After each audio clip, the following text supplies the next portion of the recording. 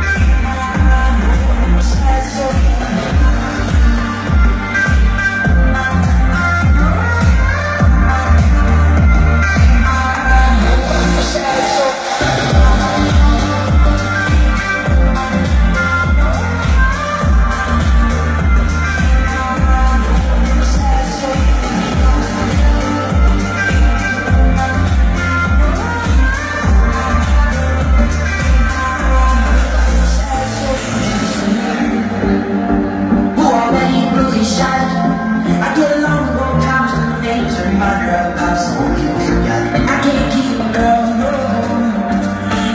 It's.